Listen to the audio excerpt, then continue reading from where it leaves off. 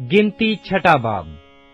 फिर खुदावन ने मूसा से कहा कि बनी इसराइल से कह कि जब कोई मर्द या औरत नजीर की मन्नत, यानी अपने आप को खुदावन के लिए अलग रखने की खास मन्नत माने तो वो मैं और शराब से परहेज करे, और मैं का या शराब का सिरका ना पिए, और ना अंगूर का रस पिए और ना ताज़ा या खुश्क अंगूर खाए, और अपनी नजरात के तमाम अयाम में बीज से लेकर छिलके तक जो कुछ अंगूर के दरख्त में पैदा हो, उसे ना खाए, और उसकी नजारत की मन्नत के दिनों में उसके सिर पर उस्तरा ना फेरा जाए, जब तक वो मुद्दत जिसके लिए वो खुदावंत का नजीर बना है, पूरी ना हो।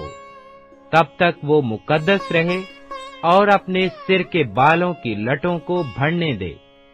वो तमाम अयाम में, जब वो खुदावंत का नजीर हो, वो किसी लाश के नज़दीक ना जाए। वो अपने बाप या माँ या भाई या बहन की खातर भी, जब वो मरे अपने आप को नजस ना करे, क्योंकि उसकी नजारत जो खुदा के लिए है, उसके सिर पर है। वो अपनी नजारत की पूरी मुद्दत तक खुदावंत के लिए मुकद्दस है।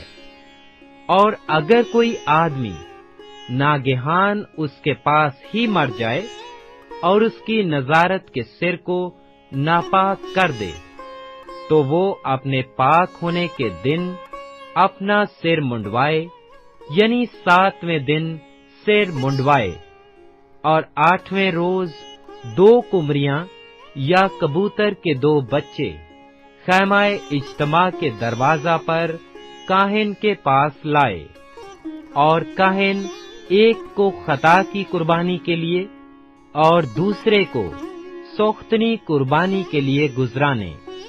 और इसके लिए कफारा दे, क्योंकि वो मुर्दा के सबब से गुनहगार ठहरा है। और उसके सिर को उसी दिन मुकद्दस करे। फिर वो अपनी नजारत की मुद्दत को खुदावन के लिए मुकद्दस करे। और एक यकसाला नर बर्रा जुर्म की कुर्बानी के लिए लाए, लेकिन जो दिन गुजर गए हैं, वो गिने नहीं जाएँगे। क्योंकि उसकी नजारत नापाक हो गई थी।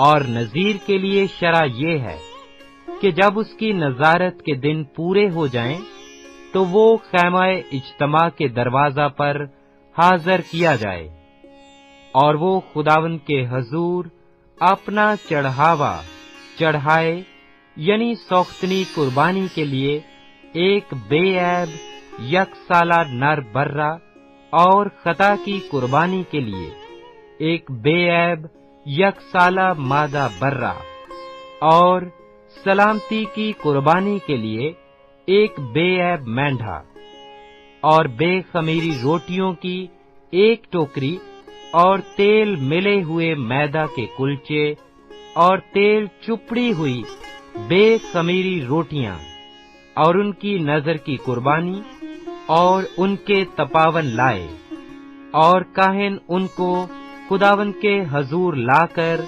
उसकी तरफ़ से खता की कुर्बानी और सोख्तनी कुर्बानी गुजराने, और उस मेंढे को बेखमीरी रोटियों की टोकरी के साथ खुदावन के हजूर सलामती की कुर्बानी के तौर पर गुजराने, और काहिन उसकी नज़र की कुर्बानी और उसका तपावन भी चढ़ाए। फिर वो नजीर खैमाए इज्तमा के दरवाज़ा पर अपनी नजारत के बाल मुंडवाए और नजारत के बालों को उसी आग में डाल दे, जो सलामती की कुर्बानी के नीचे होगी।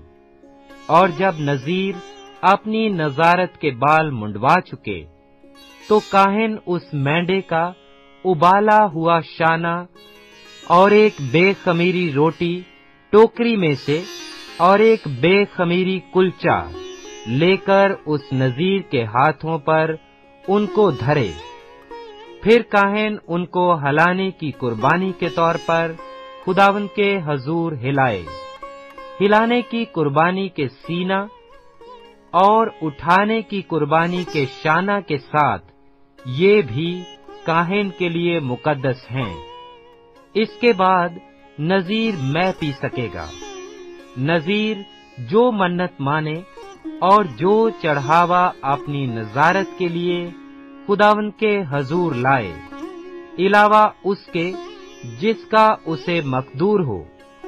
उन सबों के बारे में शरा ये है, जैसी मन्नत उसने मानी हो, वैसा ही उसको नजारत की शरा के मुताबिक अमल करना पड़ेगा। और खुदावन ने मूसा से कहा, कि हारून और उसके बेटों से कह कि तुम बनी इसराइल को इस तरह दुआ दिया करना। तुम उनसे कहना, खुदावन तुझे बरकत दे और तुझे महफूज रखे। खुदावंद अपना चेहरा तुझ पर जलवागर फरमाए और तुझ पर मेहरबान रहे। खुदावंद अपना चेहरा तेरी तरफ़ मुतवज करे और तुझे सलामती बख्शे। इस तरह वो मेरे नाम को बनी इसराइल पर रखें और मैं उनको बरकत बख्शूँगा।